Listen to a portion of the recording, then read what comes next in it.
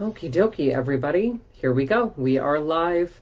Um, thank you for joining me for another round of the Astrobabble. We are here on Facebook and Instagram uh, with eight more charts donated by lovely followers. Thank you to everybody who continues to support the live stream um, and my independent work as an astrologer. Uh, so we have these eight charts that people have lovingly sent in. If you would like to be a part of the queue, you can always send in your birth date, place, and exact birth time, and we will add you to the list. But we're here to talk about what the charts say, give you some basic astrology knowledge, some in depth interpretation, uh, laugh, cry, have all the fun in the world, because this is just me kind of talking about astro stuff for an hour.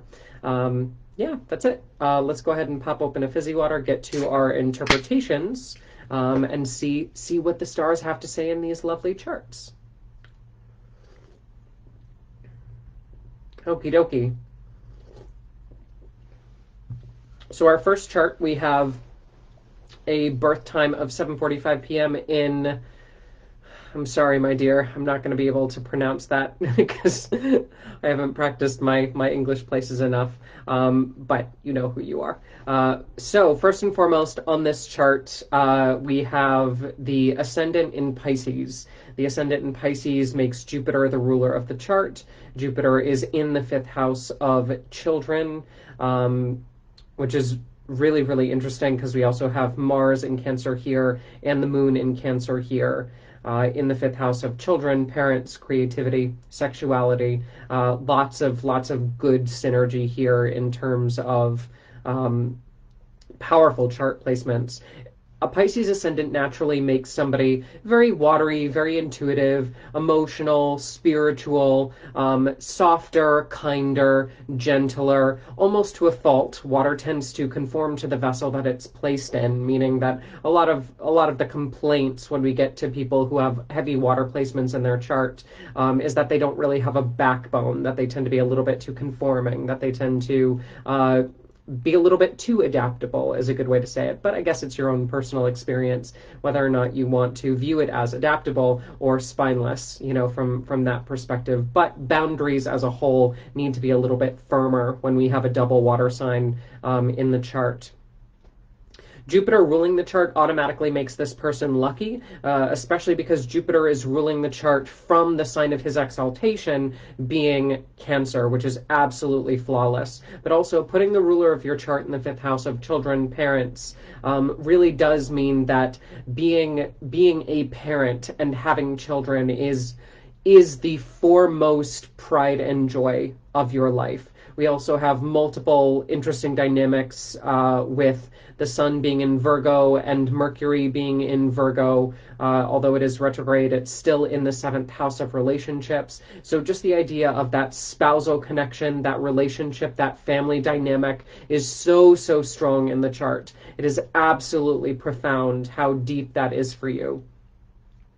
Also, to have the moon in Cancer ruling that Jupiter from the fifth house, like your maternal instincts, especially because Mars is here too, your protective maternal instincts are absolutely off the chart. Um, like you can smell danger a mile away. You totally have those those mom mom senses that just you got the eyes in the back of your head. You got those supersonic hearing ears. Like you totally got the the mom deal completely worked out um, in your chart. It also makes you just a very fierce uh, maternal figure. Uh, and I say maternal lovingly, regardless of gender, because Cancer is known as the maternal sign, and men and women can both be maternal. But in your chart specifically, we have all of these lovely Cancer placements in the fifth house of parents and children that really just makes you. Um, such an ideal uh, comforter, nurturer, soother, um, aider to those who cannot aid themselves.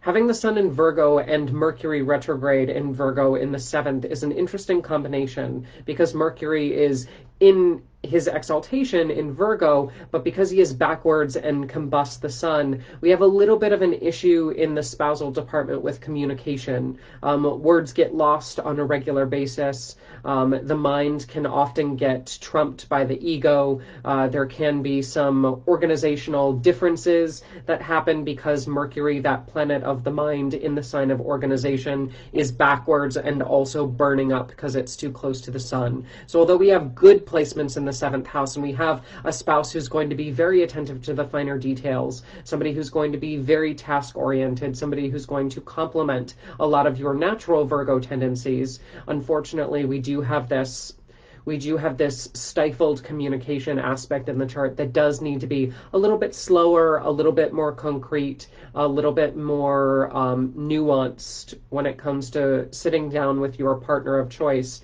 and and working stuff out. What I would highly recommend you do is work through scripting exercises when you'd like to have an important conversation because we have Mercury, who's very, very good at communication, but Mercury retrograde combust tends to get inflamed really quickly and tends to get words backwards. So I'd like you to practice if you have an important conversation to have with a spouse. And likewise, you can tell them to do this to you too. Make a list of bullet points, make a physical script of what you would like to say, how they would answer uh, the second point that you'd like to say, how they would answer. Actually, script out the conversation beforehand so that a lot of the miscommunication a lot of the missed words, a lot of the backwards thinking tends to be worked out prior to the conversation actually taking place. Um, let's see, what else do we have here? We have a north node in Libra, close to Pluto, but not conjoining, ruled by Venus and Leo in the sixth of work. Those are some major entrepreneurship tendencies. Um, also, Jupiter ruling the 10th house really does give a good a good indicator of, of success, but especially success as it relates to children and parenting being known for that space if you're not working in that field or being recognized in that field of being um, a parent or working with children, I would highly recommend it. But you're also very connected to your spouse's work, and it wouldn't surprise me if also you work in some capacity with your spouse, not just from a parenting perspective, because we know that that's a full time job in and of itself, but just the idea of you specifically going into business with your spouse. Um, I think one of the things that you're here to master is this eighth house of death, taxes, estates, um, utilizing other people's money, uh, the idea of things are impermanent, things will always be outside of your control. That's a very difficult lesson for Virgo to to learn. Period. But if we understand that there is power in leveraging resources that you don't control, there is a sense of massive growth when you realize that things are impermanent and you don't have control over them. There is a surrender that washes over the body that allows you to actually be more productive and less stressful in the long run. Cool.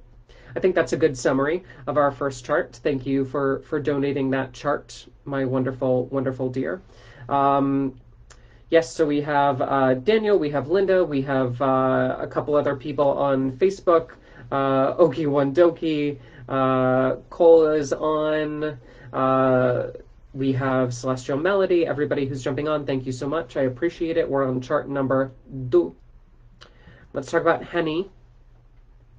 Henny was born 11:15 uh, a.m. in Nottingham. We have we have the Brits invading the the um, the queue this morning. Absolutely lovely. So we have the ascendant in Aries co-present with Saturn in Aries in the first house. It's an interesting dynamic, especially because Mars is ruling the chart in Libra in the seventh house of relationships. That's tricky honey. That's very tricky. You've decided to put the Lord of your chart opposing Saturn, um, who is being ruled by that, and Mars is not in a great place energetically because it's opposing its natural sign of, of Aries. So we have we have some difficult relationship stuff. You identify so heavily with your spouse. Um, a lot of your personal power is sacrificed because of that. You know, I think I think having Aries on the ascendant and having Saturn in the first house, you've learned very quickly how much you need to defend yourself, how much you need to become hard, how much you need to uh, really invoke sternness, how you need to uh, recognize that nothing in life comes easy unless you work for it.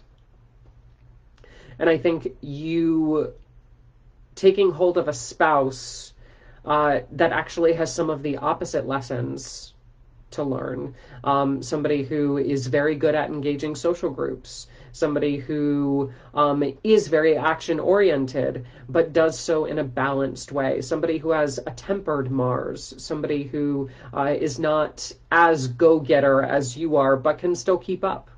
Yeah, but that Mars in Libra does does create some friction with personality and with spouse because there's this martial, aggressive, competitive energy in the relationship, but they're trying to teach you, hey, not everything in a relation, not everything in a relationship, whether it's spousal, whether it's friends, whether it's rivals, you know, it's not always about competition. Sometimes it is actually about working together towards a common goal. And that's something that unfortunately you've been conditioned to believe that unless you work hard, you won't get success. Unless you bust your butt, you're not going to achieve anything in life. Unless, you know, life is hard, so get a helmet. And that's not, that's not uh, your spouse's kind of two cents at all. In fact, they've learned from this Venus and Aquarius in your 11th, ruling the Mars in Libra from the 7th, that in fact there is a grace and there is a blessing to working with large groups. So that's interesting. You do have the Sun in Capricorn um, being ruled by the Saturn in Aries from the from the first house, as well as Mercury in Capricorn at zero degrees in the tenth. I think that again back to that idea of you've just you've developed this very hardened very rigid idea of how things are supposed to be of what uh, the rules are of life and you do not stray from those rules and that will also be in some ways your your detriment. You know it is a valuable skill especially when paired with this 23 degree uh, moon in virgo in the sixth.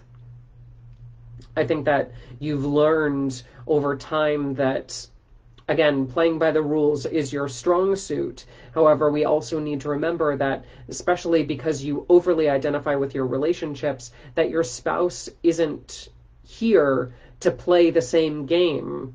They're here to teach you different rules.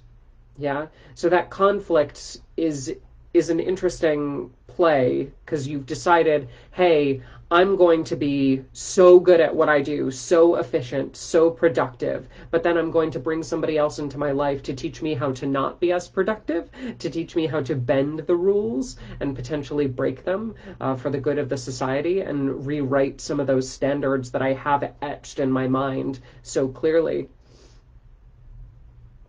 Let's see, what else do we want to talk about in the chart? We have Jupiter and Pisces in the 12th, which is really nice. Um, it's at 22 degrees, uh, just out of opposition with the moon. Um, that Jupiter and Pisces in the 12th house does indicate like a large portion of healing um, happening from a from a spiritual perspective, but also from a medical perspective. Um, it seems like there might be some autoimmune issues that happen, especially autoimmune issues that result in swelling. Because that Jupiter in Pisces, whatever whatever Jupiter touches, he makes big. Um, and Pisces is that sign of the lymphatics in the 12th house of hospitalizations. Um, we need to watch your fluid balance, your kidneys, um, as well as from a moon in Virgo standpoint, your small intestine. So that's just some stuff to be aware of. Yeah, especially with Mars ruling the chart uh, in Libra, the sign of the kidneys. The more I look at it, the more we just need to be really, really aware of anything that would tax the kidneys, your caffeine intake, your sugar intake, alcohol intake, um, even how much energy you exert throughout the day, making sure not to skip meals, um, all those things that that really the the kidneys, both physically and energetically, need in order to uh, thrive the sun in Capricorn is ruling this north node in Leo in the fifth. This time around, you're kind of learning how to be a parent. But then also this, this sun in Capricorn, I'm just not a, not a super fan of it because the sun the sun in Capricorn is a little bit too hard to rule this North Node in Leo. Um, oh, that's it.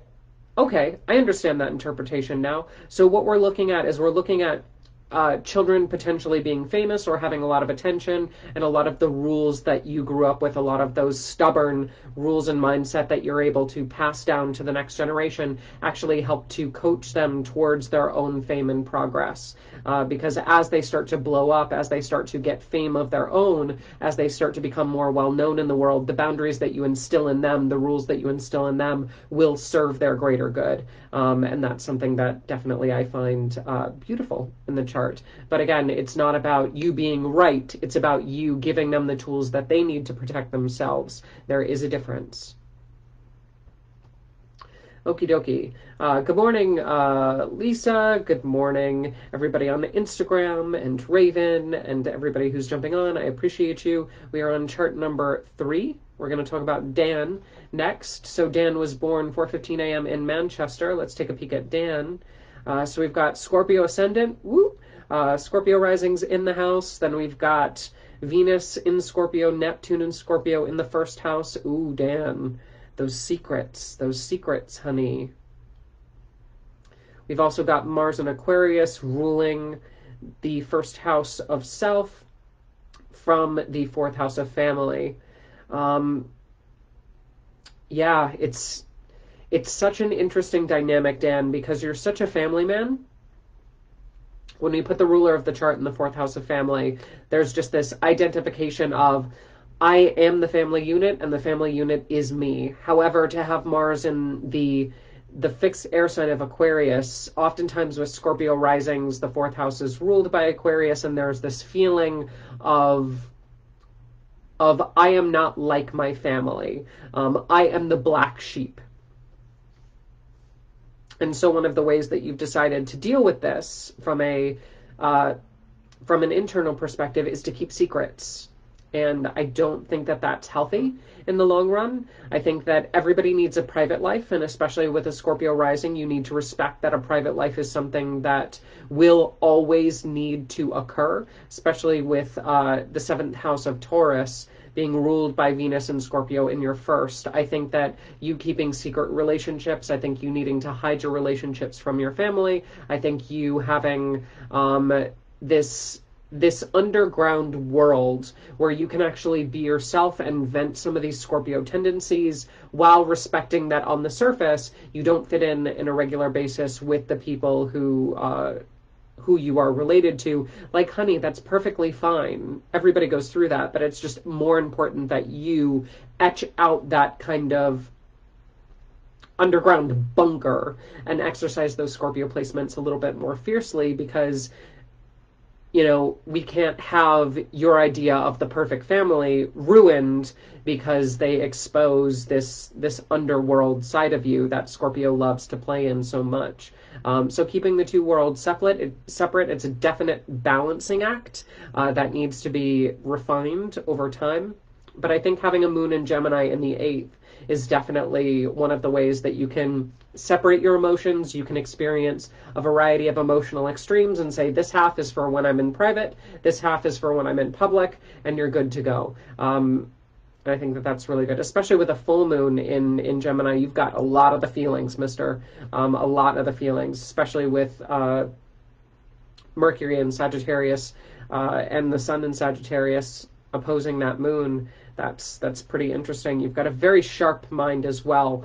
Um, with these Scorpio placements and with this this Moon, Gemini, Mercury, Sun, Sag, um, you definitely know how to put on a happy face, and you know how to manipulate the energies of a room, and you know how to make other people happy, but also you know how to pick and choose the words that you use in order to keep everybody happy. You're a great pleaser of people, is a good way to say it.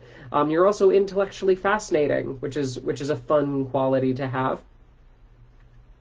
However, again, we need that private time. We need those things that are hidden to stay separate from all of this jovial nature, all of this emotional back and forth that you have that in the lighter areas of your chart, so to say.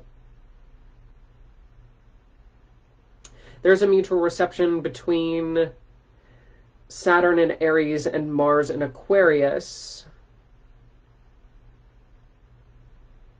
And North Node in Aries as well in the sixth house. Wouldn't surprise me if you actually worked in the family business, if you worked with real estate, uh, because that sixth house is connected to the fourth house of family and home. Um, but also the north node in the sixth house here like you're here to learn how to specifically do an honest day's work. You're here to master your health concerns especially with venus and neptune being in the first house. Um, in scorpio the sign of the bowels the bladder the sinus the reproductive areas you know we need to understand how to master that physically tricky area of the body especially with saturn here in the sixth house of health. Um, Let's see, what else do we want to talk about?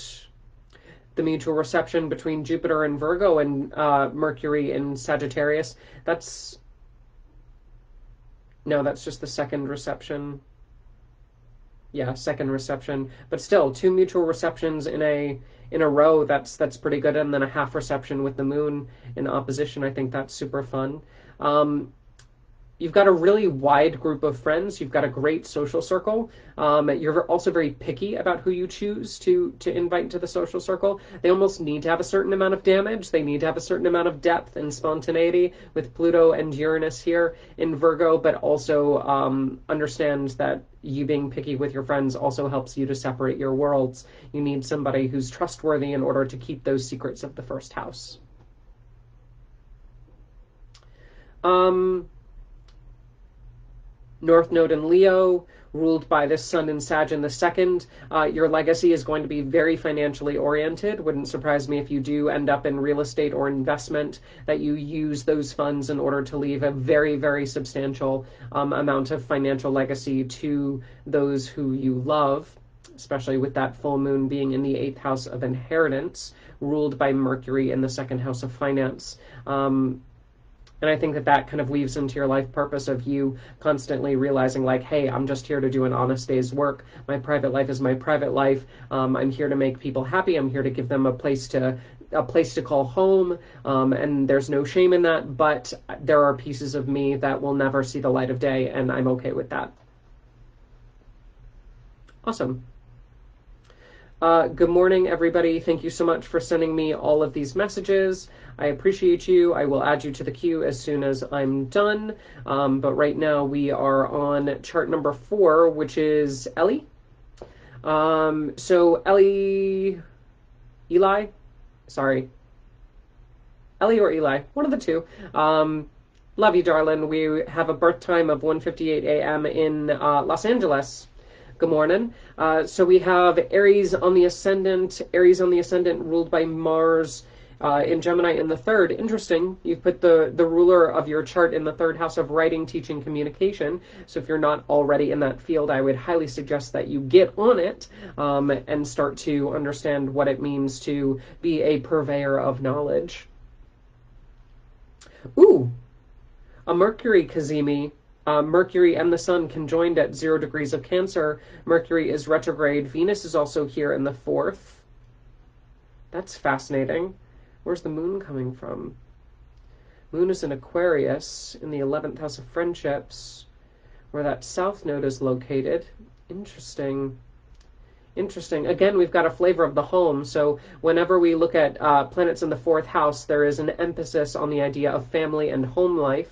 Uh, you've put the sun here, one of your markers for a personal identity, as well as Mercury, the planet of the mind, um, and Venus, that planet of love and abundance having so much activity in the fourth house of family uh, wouldn't surprise me if you work in the home industry uh, as well. Um, but what's interesting about having a Mercury in Cancer retrograde conjoining the Sun in the fourth house that there's a lot of backwardsness, um, especially when we look at um,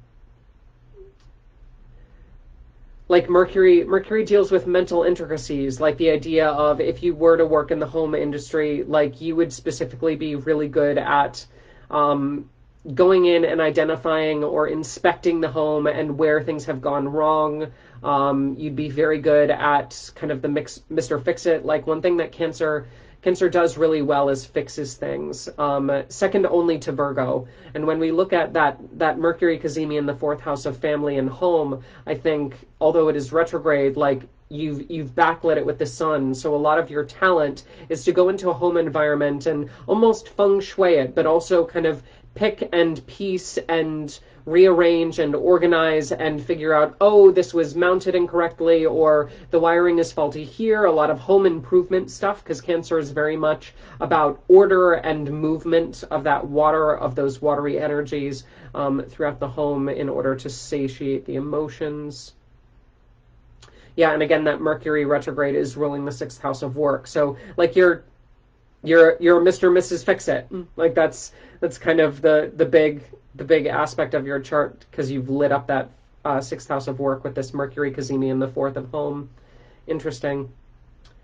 Uh, let's see. That Venus in Cancer is also ruling your seventh house of relationships, which has some some very substantial placements. We have Jupiter in Libra, Saturn in Libra, and Pluto in Libra retrograde, all in the seventh house of finance. Um, you certainly haven't made it easy on yourself uh, in the relationship department from that perspective. Being married later in life because of Pluto, especially because of Saturn as well. Saturn is in its exaltation in Libra, but it's co-present with Jupiter. Not really sure how I feel about that. Like you're you're attracted to somebody who's equally stern and abundant. Somebody who, you know, is sure, here, take the money, but then the next minute like, nope, we have to save, we don't have enough. It's that it's that Saturn of restriction and that Jupiter of abundance wrapped up into the same person in Libra, somebody who frankly struggles with a lot of indecision from a spousal perspective. Um, but because you have that ascendant in Aries and that sun in Cancer and that moon in Aquarius, you know exactly what you want and need. So in some ways, you're like the you're like the compass in their lives. You've decided to find somebody who to a certain degree is very grounded, who is very abundant, uh, who has a lot of um, oh no, we won't bring in Pluto until halfway through the life. But somebody who's equally equally stern and abundant, uh, but they they just suck at making decisions from a spousal standpoint. That's one of the pitfalls of Libra. Um, if you didn't know that already. Uh, and having all of this all of this fixed cardinal energy in your in your chart really does help them make the decisions uh, that they need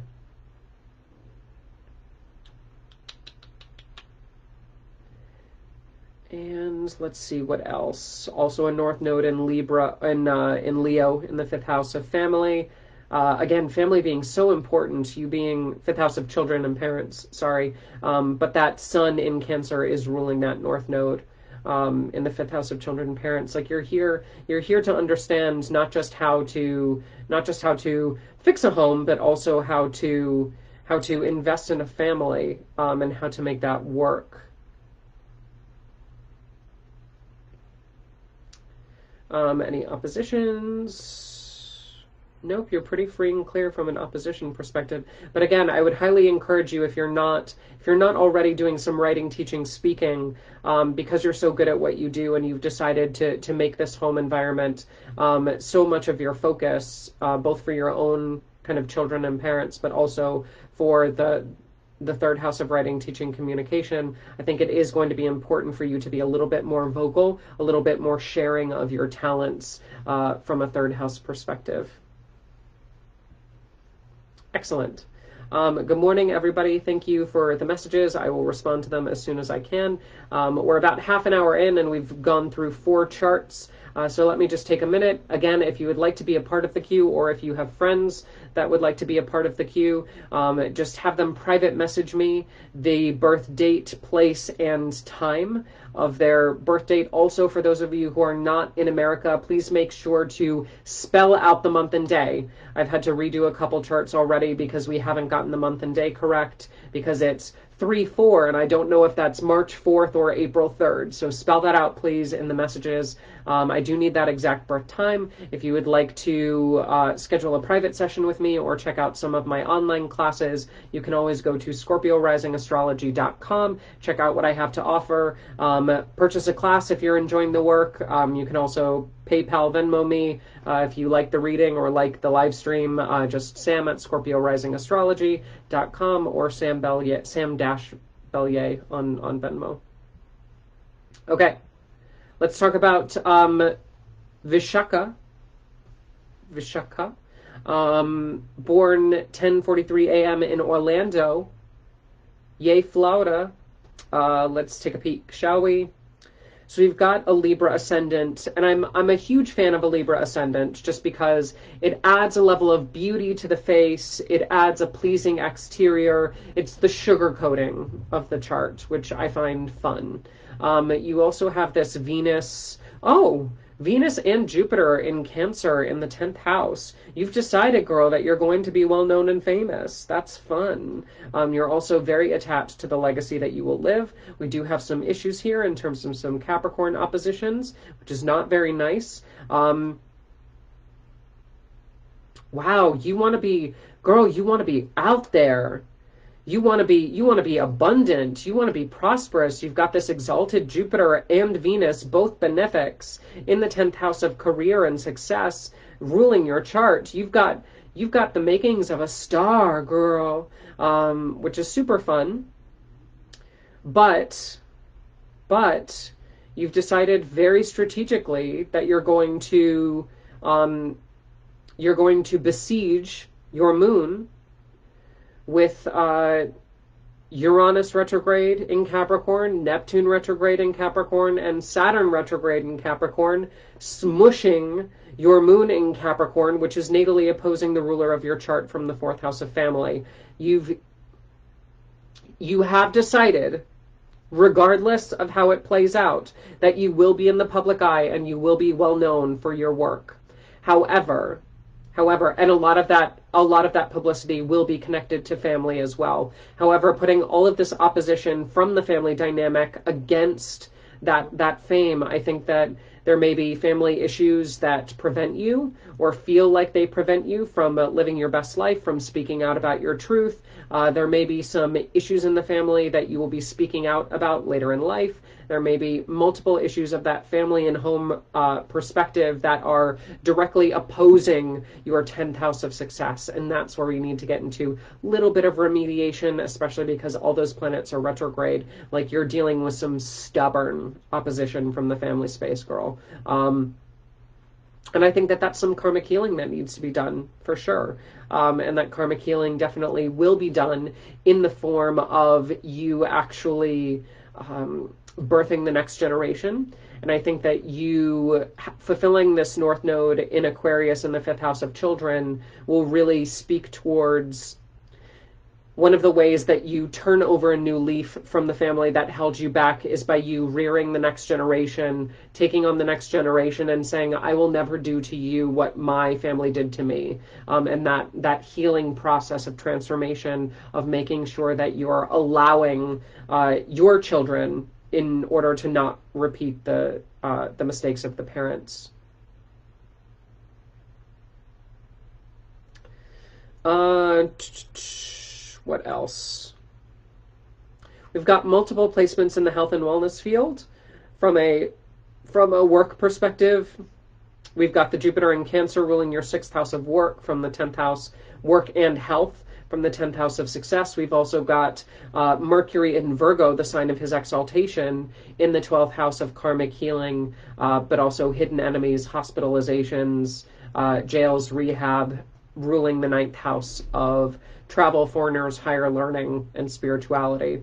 So I think one of the, the big things that will be happening in the work environment is you understanding how people heal, uh, helping potentially walk people through their healing journey. Um, you're definitely you definitely have the potential to be an icon or a figurehead or somebody that people look to as a leader in the field, especially with the sun in Leo in the seventh in the eleventh house of social groups. I think that you know you're you're somebody who naturally has this charisma, especially because it's so close to the South Node. Um, you know how to you know how to throw your weight around and you know how to get attention and you know how to use the sun and leo to your advantage.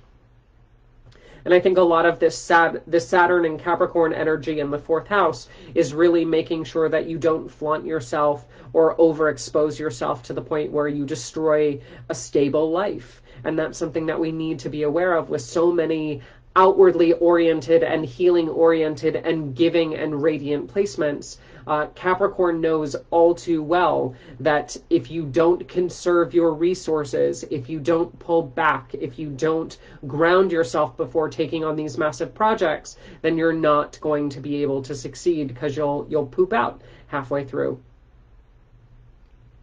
Money has always been an issue. We have Pluto in Scorpio opposing Mars in Taurus, the natural ruler of Scorpio, uh, on that second house of finance, eighth house of entrepreneurship and inheritance. Um, it's going to get easier about halfway through the life when you realize that you can find strategic partnerships that aid you from a financial perspective. But until that happens, um, money is not the root of all evil. Let me tell you, in fact, having Pluto in Scorpio is a great financial placement, but it is something that needs to mature halfway through the life. And those are really the major placements. Cool. Everything else just kind of loops back around. Awesome. Thank you, my dear, for submitting your charts to the queue. I appreciate it. Um, thank you, everybody who's sending me messages. I appreciate you. I will respond to you as soon as um, I can. Let's move on to chart number five, six. Are we on six? I think we're on six. Yeah, we're on six. So let's talk about Mark. Mark, how you doing? Uh, born 12:30 p.m. in Beirut. Uh, let's take a peek. Interesting, Mark. Interesting. So you've put a stellium. Oh, a Venus and Aries Cazimi ruling the chart. Mark, I'm fascinated by you. Interesting. So interesting. So um, you're just so cultured. Mark. So cultured, like Greek yogurt. Um, that was terrible. I'm so sorry. That was a bad joke. Um, but the, the ascendant in Leo is being ruled by the sun in Aries, the sign of its exaltation, which places the sun in an amazing, amazing place.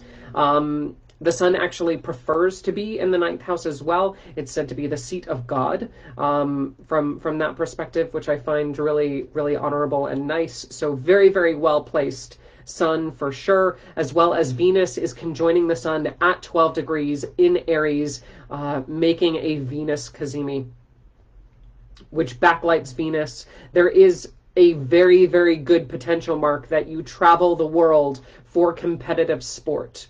Um, Aries is that competitive, military oriented, um, war based uh, energy and Venus, especially um, being in Aries, has this kind of conditional love where she's she's only interested in you if you're able to perform, and for you to put that energy in the ninth house of travel, foreigners, higher education, spirituality, I think that um, all those topics are not only very appealing to you, but also it wouldn't surprise me if you do a lot of traveling, engage with a lot of foreigners, especially from a competitive perspective.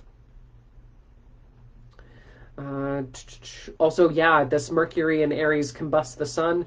You've got some. You've got some serious. Oh, and in mutual reception with Mars and Gemini in the eleventh. Hello, hello, Mark. You are, you are so competitive. Why are you so competitive? Like I get it. You need to be the first. You always need to be the first. But honey, ain't nothing wrong with silver. Ain't nothing wrong with silver. You've just decided that you're going for the gold, huh? I see you. I see you.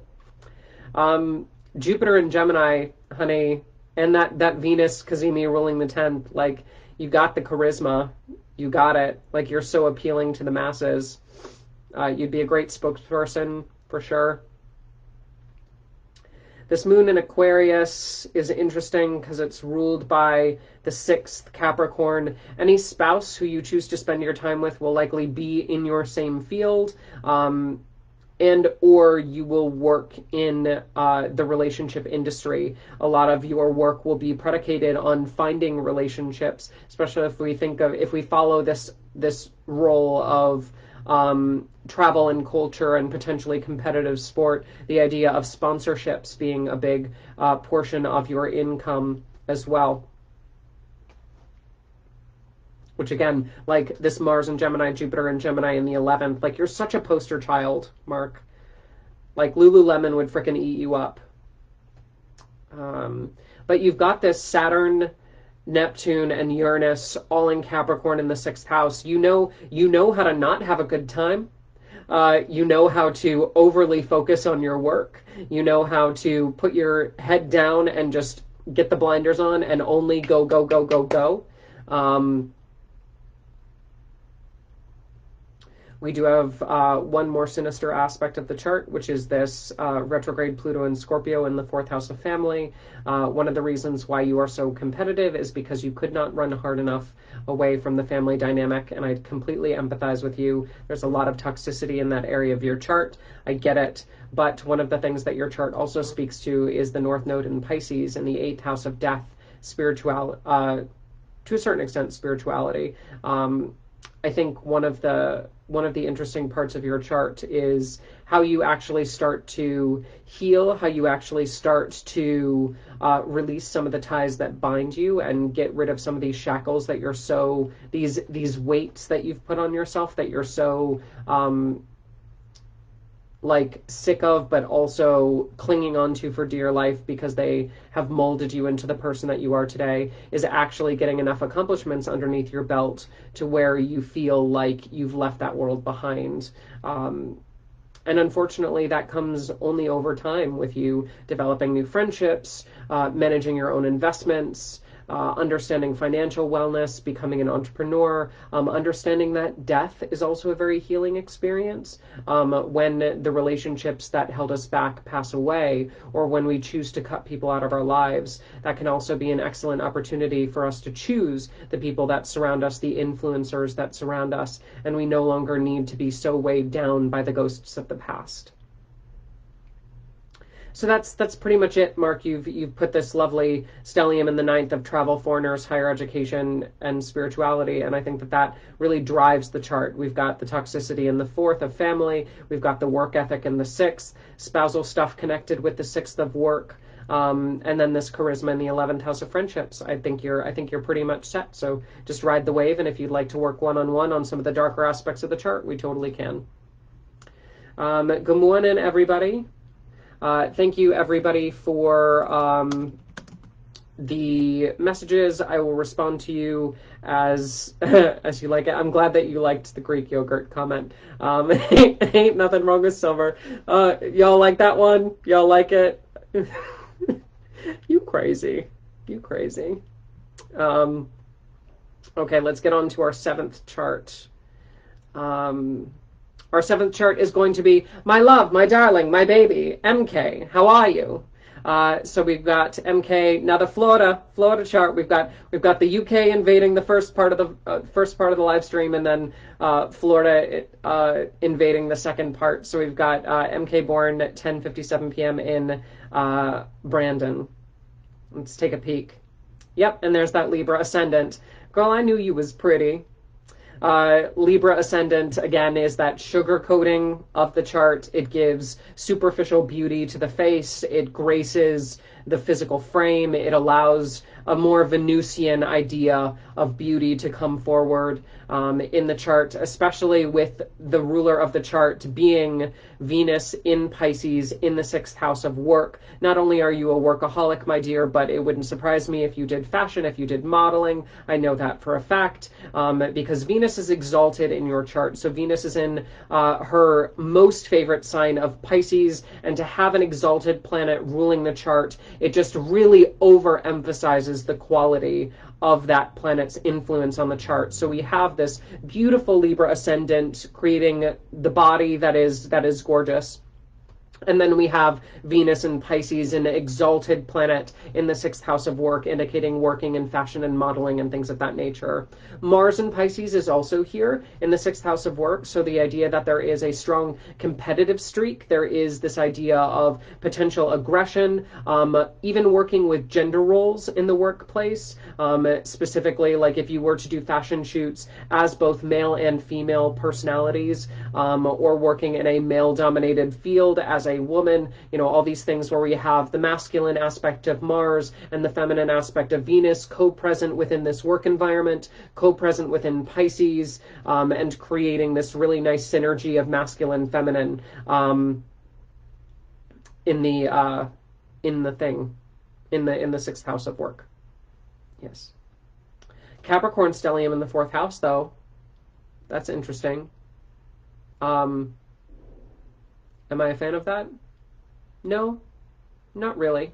Um, this Sun in Capricorn, this Jupiter in Capricorn, this Mercury in Capricorn, this Neptune in Capricorn. I mean, you were raised in such a strict household. Like, all this Capricorn. Absolutely ridiculous. Um, the rules were the law, and the law was the rule. Um,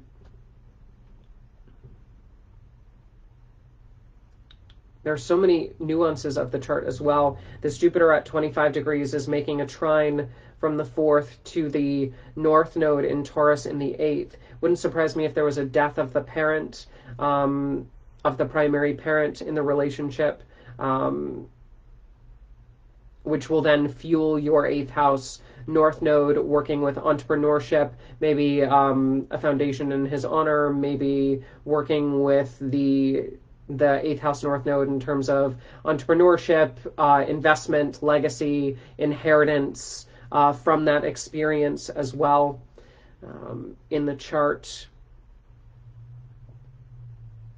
Yeah, actually, there's there's quite a few markers in terms of financial legacy that are being left in the chart. We have this Pluto in Scorpio making a trine to the MC in the fourth, uh, in Cancer, or MC in the tenth in Cancer sorry, um, which is another big financial marker when it comes to success. Um, but it's all ruled by Mars in the in the sixth. What else do we see? Uh, we've got this moon in Sagittarius and this Uranus in Sagittarius in the third. You know, there is this there is this need to write, there is this need to teach, there is this need to speak. But a lot of the writing, teaching, speaking that you would do has this very Sagittarius energy, this very flamboyant energy, this very mutable fire energy that tends to be rather um, be rather all over the place, not as easy to control, spunky, um, especially with Uranus here. Uranus tends to blow up Sagittarius. It's a very firework approach to teaching. Like you get up there and you just talk a mile a minute and you derail and you backtrack and you definitely are um, charismatic, but people leave that and they're like, wow, that was really entertaining. I'm not really sure what I learned, but it was very entertaining. Um, and that's kind of your, your style of style of, of teaching. Uh, third house and fourth house are connected via a rulership of that Jupiter in Capricorn in the sixth, so it wouldn't surprise me if you did a lot of teaching from your home, um, if you did a lot of virtual teaching. Um, that might be something to to consider as well. We have who on the who on the ascendant? We have Aries on the ascendant. Um, spouse potentially working in the same field as you because that Aries uh, on the seventh is ruled by uh, Mars in Pisces in the sixth, which is interesting because you're you're attracted to somebody who has those Aries qualities of um, ambition and drive and passion and com- competition and uh, this kind of happy-go-lucky charge forward cardinal fire nature but the spouse that you will choose um, you'll often meet through your workplace and they will have this squishy pisces center that you just fall in love with um, they will have that martial that aries quality that's very very combustive and fiery but because your mars is in pisces in the sixth they have this like gooey, chocolatey, melty center that you just absolutely adore. Cool. So that's your chart, my dear. Thank you so much. I appreciate you donating your chart to science. Uh, cool. So I think we've got, we're at 48 minutes. We've got one more chart to go through. Let's talk about Daniel. Daniel, I know you've been waiting. You've been waiting this whole time. Let's talk about you. Uh, we've got 8.09 a.m. in Rapid City. Let's take a peek. Mm. I'm aware.